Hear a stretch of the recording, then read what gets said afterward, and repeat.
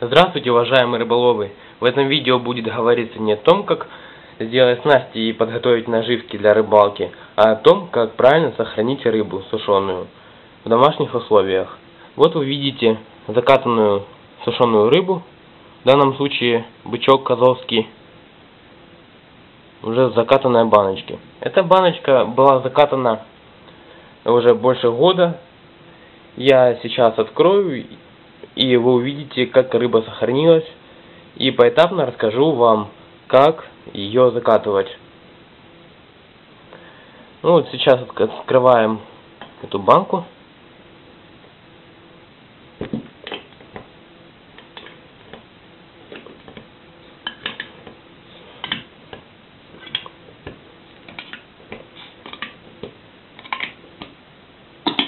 Так, есть открыл.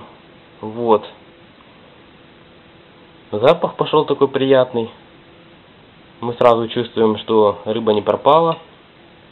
Итак, вот мы засушили, представим такую ситуацию, засушили мы рыбу, которая хорошо просушена, э, которая должна быть хорошо просушена.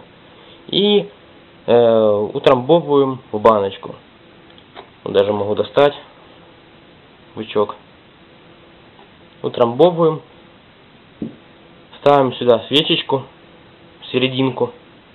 Не обязательно использовать большие свечки. Маленькую, достаточно маленькой свечки.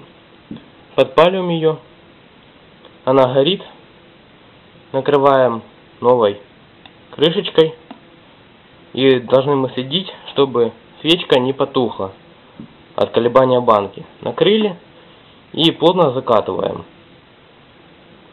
Э, когда мы закатали, свечка догорает, внутри уже нет кислорода, и рыба будет хорошо сохранена. Я думаю, доступно я сказал вам. Э, смотрите мой канал. Пока.